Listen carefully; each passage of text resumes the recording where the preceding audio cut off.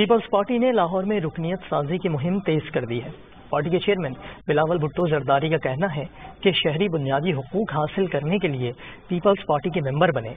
لاہور کے علاقے راوی روڈ میں ممبر سازی مہم کے حوالے سے تقریب کا اہتمام کیا گیا۔ اس موقع پر ہولوگرام ٹیکنالوجی کے ذریعے خطاب کرتے ہوئے پیپلز پارٹی کے چیئرمین بلاول بھٹو نے کہا کہ وہ جیالوں اور رہنماؤں کی قدر کرتے ہیں، جنہوں نے بھٹو کی سوچ کو زندہ رکھا۔ انہوں نے پیپلز پارٹی کو ہر طبقے کی جماعت قرار دیا اور کہا کہ شہری پیپلز پارٹی میں شامل ہو کر بے نظیر اور ذوالفقار علی بھٹو کے مشن کی تکمیل کے لیے جد و جہد کریں۔